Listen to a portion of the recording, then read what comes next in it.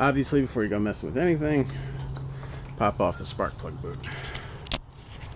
That's incredibly important, okay?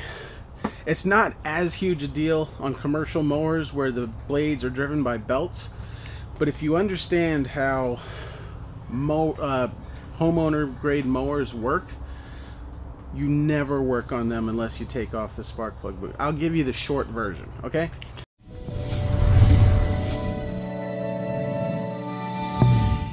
So the way this mower, the way this machine works is when you pull the pull cord, what you're actually doing is spinning the flywheel. The flywheel has actual magnets on it that come in contact as they spin around uh, what's called a coil.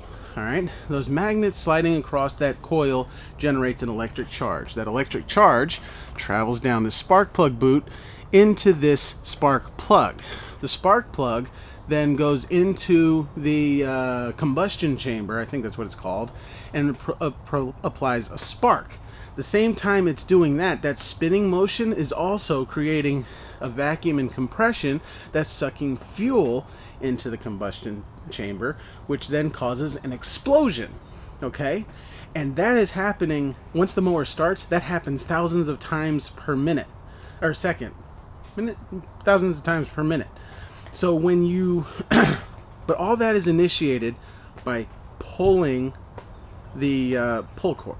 Now, the reason why we never mess with anything, especially the blade, without popping off the uh, spark plug boot. You see this shaft? This shaft connects to the crank is the crankshaft. This is connected to the flywheel. So when you spin this blade, you're spinning the flywheel that's got the magnets that'll help generate the charge that the coil will then send to the spark plug boot, which will send to the spark plug, which will cause an ignition in the combustion chamber, which has gas in it. So when they say spinning the blade could start the mower, they're telling you the truth. It's very dangerous. So don't do it. All right?